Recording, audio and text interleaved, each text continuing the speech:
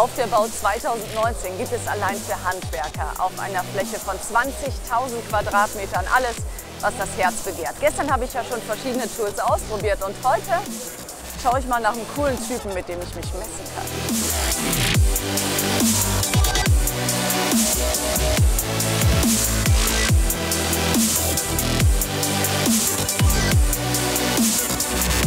Genau dich habe ich gesucht.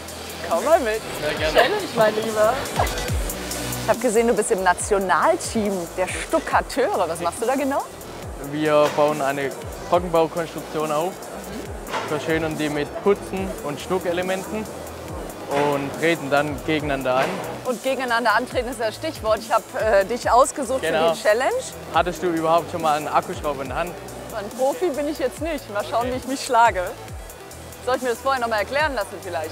Wäre wahrscheinlich am besten, ja. Guter Plan. Machen das wir. Grüß dich, Silvia. Das ist eigentlich ziemlich einfach. Nachdem die Unterlegscheibe in die Schraube eingefädelt wurde, kann man jetzt schon mal vorgreifen. Das Torx-System greift jetzt schon mittig zielen und in einem Zug durchschrauben. Viel Glück. Danke, Hannes.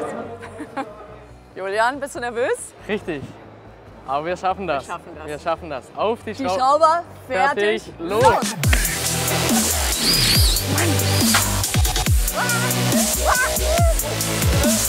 Schraube geht nicht.